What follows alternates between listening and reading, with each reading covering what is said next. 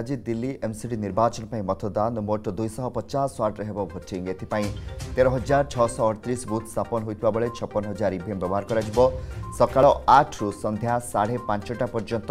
ମତଦାନ ଚାଲିବ ଡିସେମ୍ବର ସାତରେ ପ୍ରକାଶ ପାଇବ ରେଜଲ୍ଟ ତେବେ ଗତ ପନ୍ଦର ବର୍ଷ ଧରି ଏମ୍ସିଡିରେ ଶାସନ କରୁଥିବା ବିଜେପି ପୁଣି ନିର୍ବାଚନ ଜିତିବା ନେଇ ପ୍ରୟାସ କରୁଥିବା ବେଳେ ଆମ୍ ଆଦମୀ ପାର୍ଟି ଏବଂ କଂଗ୍ରେସ ନିର୍ବାଚନ ଜିତିବାକୁ ମଧ୍ୟ ପୂରା ଦମ୍ ଲଗାଇଛନ୍ତି ରାଜ୍ୟ ନିର୍ବାଚନ ଆୟୋଗଙ୍କ ସୂଚନା ଅନୁସାରେ ଦିଲ୍ଲୀର ମୋଟ ଭୋଟରଙ୍କ ସଂଖ୍ୟା